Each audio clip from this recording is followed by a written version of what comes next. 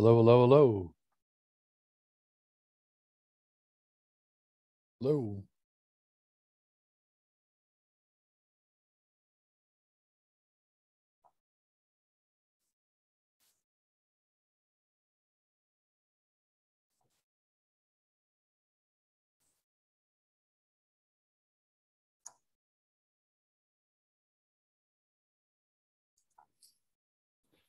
Welcome and thank you for being bold and proactive to explore and bring new resources that will change the lives of your students, teachers, and families.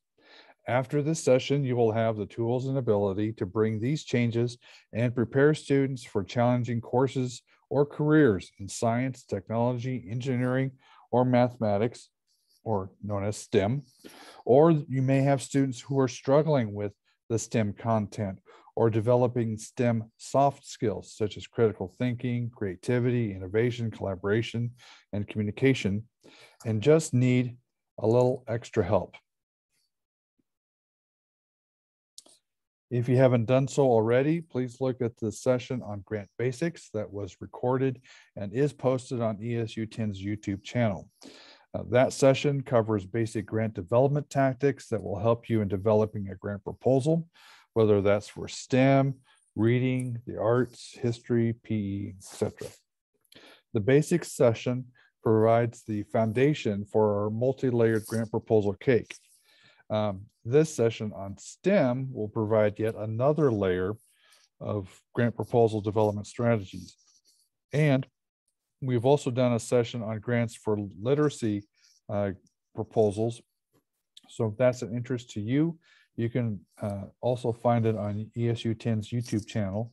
And if you watch all three um, sessions, you will have a very nice uh, three layered grant proposal skill cake. This session will focus on classroom grants for schools and classrooms, uh, tips for designing STEM proposals. I'll share an example of a STEM grant outline, a STEM funding sources uh, for classrooms and schools. I've done a grant search. Uh, I'll share and highlight a few potential funding sources for, for you, and then some grant services that are available uh, to you. Now remember the key tip to write a proposal that you're comfortable with, and then look for funding opportunities that align with what you want. This will benefit you and your students by first, quickly responding to funding opportunities. And two, you won't chase after funding opportunities that are not really what you want. This will help fend off the dreaded scope creep, where you chase the dollar and end up having to do more than what you really wanted. Um, like you wanted to create a maker space or, or create space in your classroom and find a funding opportunity that will pay for it if you have your students create landscape designs for your school. Now, while a landscape design may be good, would you rather have students exploring their own interests? Now, here are some grants for classrooms and schools. Um, grants typically range for uh, between 100 to 200 or to $20,000 for classrooms or 20,000 to $100,000 for schools. Um, as the dollar amount goes up, Sometimes the reporting requirements become a bit more intense. Um, but for grant funded projects for classrooms, uh, I, I, I, rarely see the reporting requirements being more than what you're already doing. So um, you just have to put that into your schedule as you're uh, getting ready to manage that grant. As far as uh, when time deadlines and things are coming up. And if you can keep on top of it, uh, the reporting requirements are not really that onerous. Here, uh, another carryover from the grant basic session.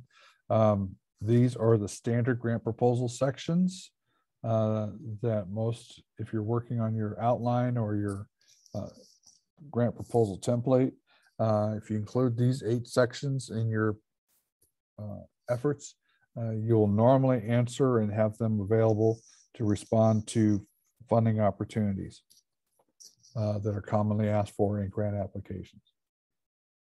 Um, this is um, a proactive grant process that I use, and I've been using them for years. Um, and that starts with creating what you want and then being flexible to respond to opportunities that you identify or that come up uh, in your proposal development um, process. And for today, we're really going to be looking at these first three elements here, developing an outline, researching uh, funding opportunities, and developing a grant proposal template. Now, tips for designing uh, STEM proposals. If you watch the grant basics session, some of these elements um, were covered, so I won't go into great deal to uh, great much a lot of detail today.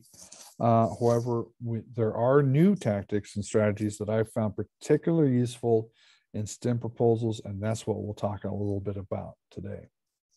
So in the need section, these that are not bold in bold uh, are ones that we addressed in the grants basics session, but um, one area that is particularly that I found particularly impactful when I'm working on a STEM grant is that I look for opportunities for students to develop STEM soft skills. These are things that businesses um, and schools are always saying when we when they get students from high school, they may not have the collaboration skills that we're looking for or the critical thinking skills, so on and so forth.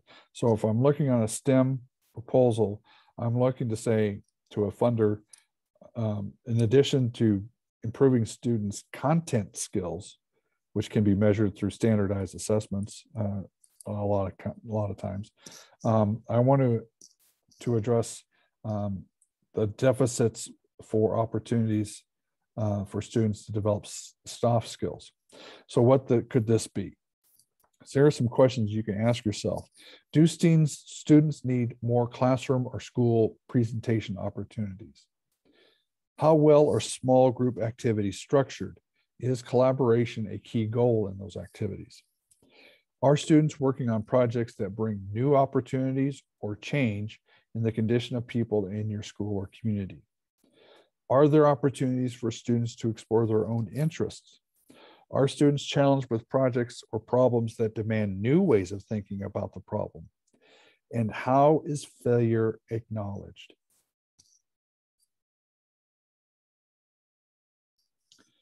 In project design, um, another carryover from our grant basic session, uh, this table is a great um, way of outlining your, your project design section. Um, and uh, for STEM proposals, uh, ensure that there are experiential learning opportunities for students to allow them to explore and develop STEM skills. Um, so this could be makerspace time uh, during class or after school or before school for students to explore interests.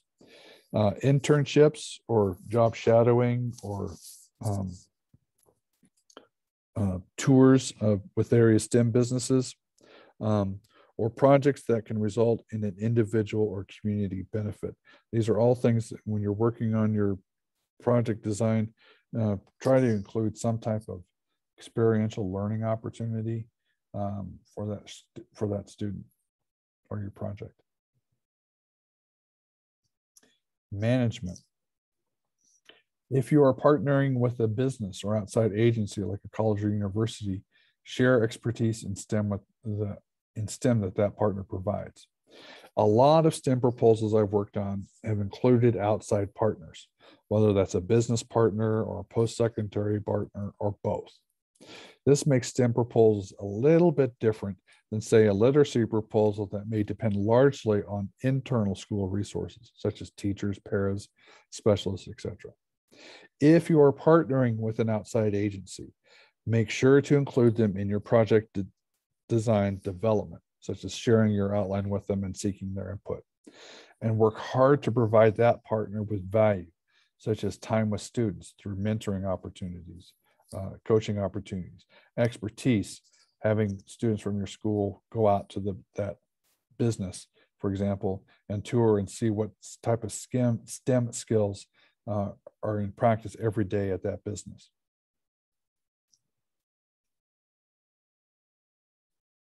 Evaluation. Unless you are a STEM content teacher, like a chemistry or math teacher, it can sometimes be hard to evaluate STEM, especially because you are doing, if you're doing a makerspace, failure in designing a product or project is success because students were confronted with a challenge, tried different approaches, and maybe the students failed to conquer the challenge. In a STEM universe, that failure is considered a success because students may have been engaged in the engineering process that they found out what didn't work. And perhaps they found a process that did work, but just didn't have the opportunity to figure out other issues. So, how do you show student progress? How does a funder know if its money was able to accomplish condition change? Well, here's some ideas. When with, with learning management systems like PowerSchool or Infinite Campus, you can flag students who are engaged in the STEM activity to see if their performance in other subjects, STEM related or other, have changed while they were working on the STEM challenge. Share examples of engineering notebooks or portfolios with the funder so the funder can see how students' thinking processes changed over time. Use pre and post surveys to show student knowledge base or attitude uh, changes uh, over time. Invite a funder into your school so it can see students engaged in STEM. This is particularly helpful if you're at midpoint or towards the end of your um, project. If you can invite the business that provided you with a $500 grant or a thousand or $5,000 grant to come in and see, all right, here's what your investment's doing. Here's how we have used your resources wisely. And that helps establish a partnership uh, between you and a business or post-secondary institution so that in the future you can expand and improve uh, your grant funded project or perhaps come up with a new one that that funder uh, may want to provide funding for. Timeline. now, I like to use um, include a culminating activity in STEM projects. And a culminating or a capstone activity is an opportunity to bring the wide range of learning in STEM to a finer and concluding point. Um, students can work on a project and showcase skills and knowledge to the community um, and a funder through a culminating activity. Um, and including such an activity in your outline uh, will show the funder that there is a process or a sequence of learning that will result in a tangible product or learning outcome. For example, if you've had a makerspace or a gaming uh, opportunity, a gaming um, activity that's been going on, and you're able to bring a funder in to say, okay, at the end of the school year or the, the project that you asked the funding for, um, here's where students were and here where here's where they are now. And perhaps have students come up and do a five minute presentation on what they learned through this grant funded project. That can be a culminating activity. Or in the era of covid if you're not able to invite uh, outside parties into your school you can do a recording and post it on your youtube channel uh, at school or on social media to show that the, that this is what uh, was learned in this activity. So I always like to include some type of culminating activity in a STEM related proposal. This is uh, one of the bonus sections on sustainability. Uh, try to keep in mind that equipment purchased with grant funds is a, is a sustainable strategy and activity because uh, while technology changes from year to year, some of the base technologies do not. Um, for example, if you buy uh, tablets um, with grant funds, uh, those tablets, if they're well taken care of, can continue for a good number of years after uh, the grant funding is over. So I like to include that in as a sustainability tactic um, to say, you know, we'll continue to, to use this equipment in this project um, long after the grant funding is over. This is another bonus. Um, now, uh, depending on school policy, consider inviting the media in to see your STEM project in action. If you have a community partner like a business, uh, your partner will appreciate the exposure and you can use the tape or the article to apply for other funding. So you can show another funder, hey, we did great with um, with this this project. We're now ready to take it to another level. Um, and here's what somebody from the outside who came in, here's what they saw us doing. Um, I also like to share stories with a funder at midpoint of the grant. Um, if you include a continuous improvement process in your timeline and your project design, where you sit back and you look at the data, uh, look at how students are progressing, uh, any challenges that you've had uh, in delivering content or in activities, it gives you a chance to kind of reset the, the game um, and come up with different strategies to improve student learning outcomes. Well, while you're doing that, there are undoubtedly going to be some success stories that you've had up to that point. And a quick email to the funder to say, hey, you know, uh, thank you for the grant that you provided to us in August. It's now December. I just want to give you a quick snapshot of uh, how your uh, investment in this project has resulted in student gains. And a quick two or three sentence about a student um, success uh, with a funder that will remind the funder that, hey, we did provide a $100 grant or a $5,000 grant to this entity. And this is the success they've had with it.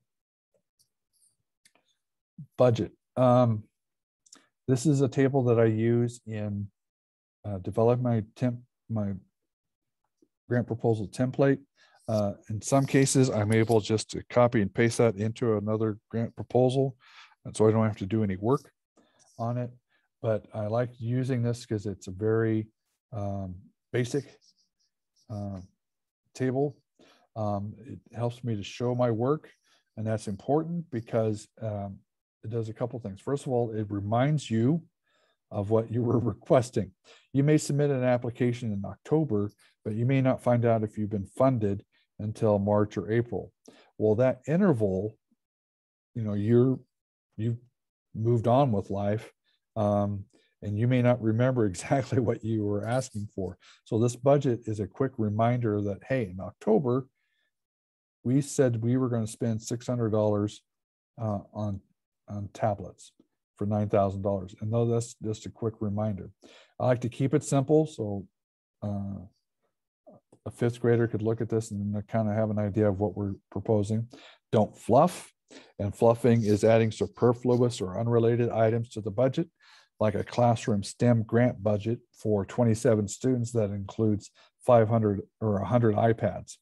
This puts a big red, big red flags with funders. And I know some grant reviewers We'll start reviewing a grant by looking at the budget first because it is sort of an outline of what the proposal wants to do. And some look at the budget and they see if it doesn't make sense or there's some fluffing going on. They don't even bother to read the narrative portion. They just give the proposal a bad score and move it on. Uh, consider in-kind contributions. An in-kind contribution is a non-monetary support that is provided to a project. This can be the contribution of time, such as a business allowing employees to mentor students while on the clock with the business. For that, the employee's time in your project is an in-kind contribution. Or a business providing surplus materials to a project, like excess 3D uh, printing filament. Or a school providing a teacher with time to review data and plan for grant-funded project. So in this case, the teacher's hourly rate and or a substitute teacher that is hired to cover the teacher, those can be an in-kind contribution to the project. Processes in action. Um, I won't go in, great detail here because you can look at this uh, at your leisure, but here's a STEM grant outline that I've used uh, for a project. I took out some identifying characteristics of the school that I used it for, but um, this is just an example of a, a, design that I used. It's very um, outline-ish, outline-ish, I guess a standard outline. Um, and some of these, I don't go into great, great detail in my outline because this is just for my own internal use. These are just like placeholders I consider in my application. So I know I'm going to have a cost for subs, and I know I have to figure in fringe benefit for subs. I know we're buying tablets, um, and I know the workbook uh, we're going to be buying.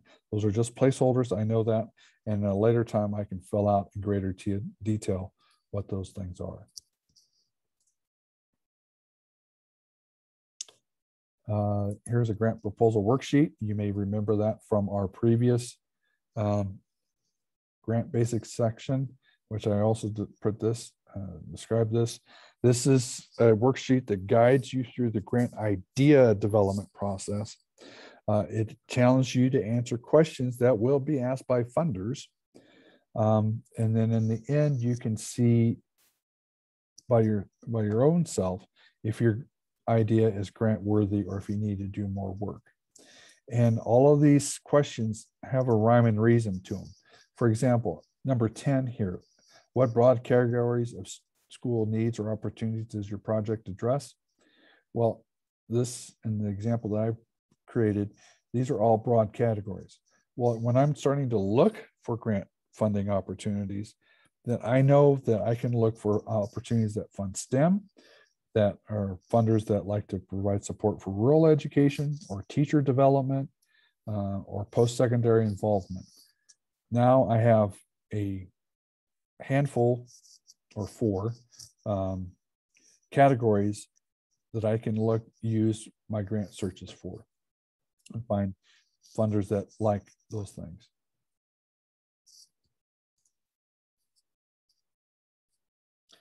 The spreadsheet um, you will have access to the spreadsheet and I will just go over a few of these that are involved in it.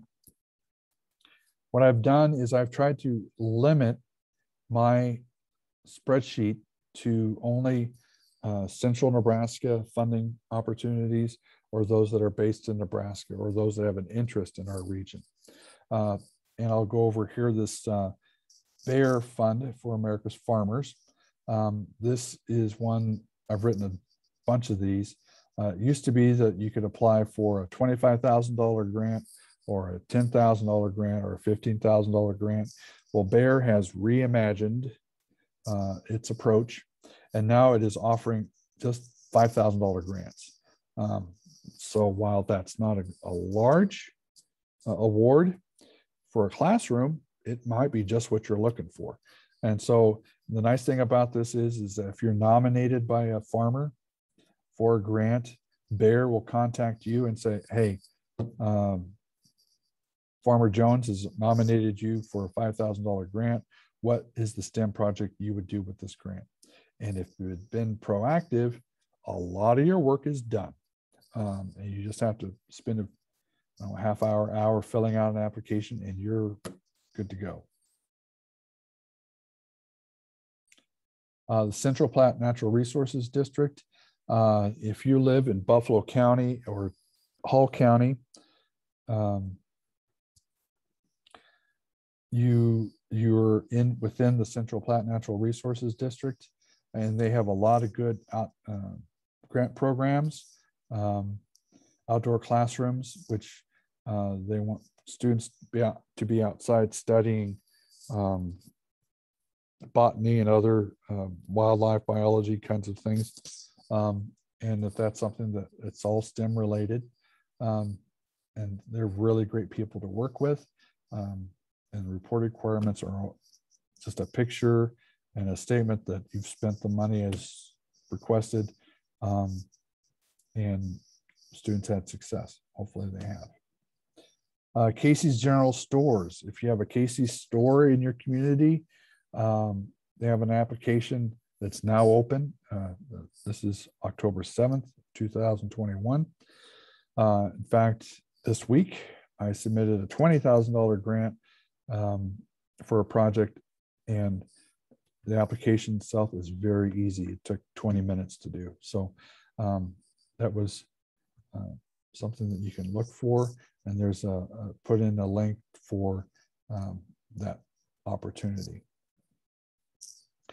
And then I want to talk a little bit about uh, community foundations. Uh, these are the hidden gems. If you're not aware of them, you should be um, in your community. Um, a lot of these foundations, like Kearney, Grand Island, Lexington, North Platte, um, encompass the county in which they reside. So the Kearney Area Community Foundation has funds for communities and schools within Buffalo County. Um, you need to check with them or with your school to see if the, if you the if the Kearney or if the community foundation has a fund for your school. The only kind of different one here is the Nebraska Community Foundation, which is based in Lincoln, but some of our smaller counties and communities don't have the wherewithal to have their own freestanding community foundation. And so what some have done, uh, say Ord, for example, Valley County has established its foundation via the Nebraska Community Foundation. So if you're a school in Valley County and you're wanting to apply for funding, you can go to the Nebraska Community Foundation website, do a search for your community. Uh, it'll tell you what, if any, um, resources that are available to you and provides links to them. And you can see if there's been a fund established that you can apply for grant funding for. Uh, this is commonly used for scholarships, um, but there are some that do uh, do have designated funds for community or educational improvement projects in specific communities. So that is a good one to check out.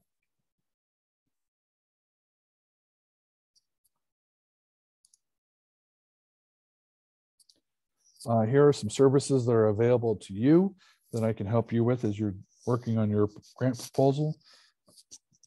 I can review them for you and offer suggestions. It's your proposal. It's up to you to um, make improvements to them if you want, or if, or to agree or not agree with my suggestions. That's up to you. I can help with researching um, demographics. The new census is out and it uses, it has uh, demographics on school districts. So that might be helpful to you in showing need in your community um, or researching evidence-based practices or doing a grant search uh, specifically for the project that you're looking for. And of course, I can help with, with writing. All that I ask is that you have the approval of your principal or superintendent before contacting me.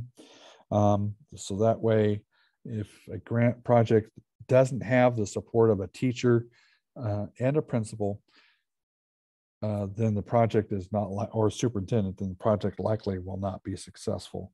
Um, and just want to make sure that we have, we get value for our time. If you have any questions, feel free to contact me and I'll do my best to respond.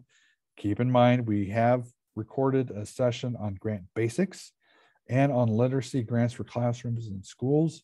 So please go to ESU 10's uh, YouTube channel to see those sessions and um, you'll gain additional skills and you might find uh, resources or tactics that were described in one uh, session may apply to a uh, proposal that you're working on.